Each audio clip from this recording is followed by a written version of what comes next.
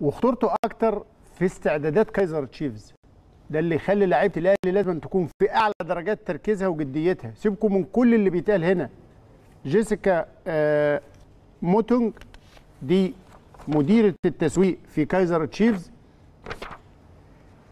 عملت مداخلة مع قناتهم تايم سبورتس الحقيقة عندهم فخر كبير جدا ببيتسو موسيماني. سعداء جدا بتجربة بيتسو موسيماني وشايفين ان ده إنجاز لكرة جنوب أفريقيا. لكن رأيها في مباراة السبت وفي مواجهة الأهلي إيه؟ نشوف جيسيكا مديرة التسويق في كايزر تشيفز من وجهة نظرك شايفة إزاي مواجهة النادي ال- الأهلي في نهائي هذه البطولة. تحدي كبير. أن نواجه الأهلي هم الفريق ذو عراقة كبيرة وتاريخ كبير وفاز باللقب عدة مرات. بالنسبة لنا نحن نصنع التاريخ بوجودنا في النهائي لأول مرة.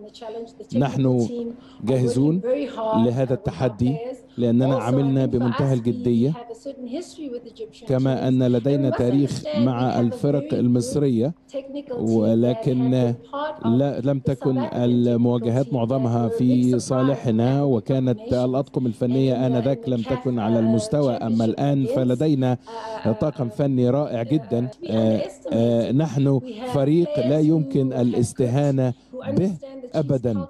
آه، نحن نفهم ثقافة الفوز.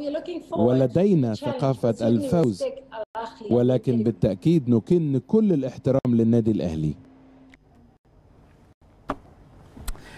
واضح اهتمام. اولا أول مرة كايزر تشيفز يلعب في النهائي.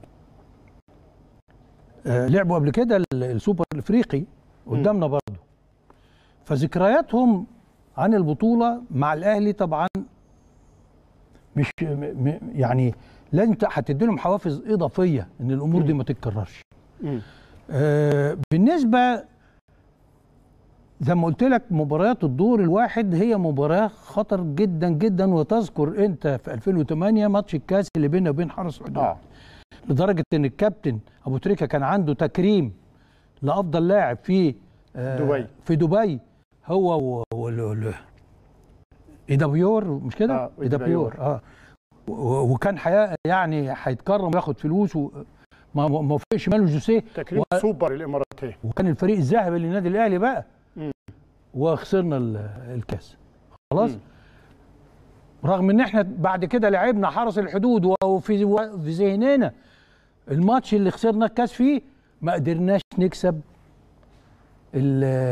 نحط جون في الوقت ال- الأصلي واحتكمنا ضربات الجزاء وخسرنا السوبر.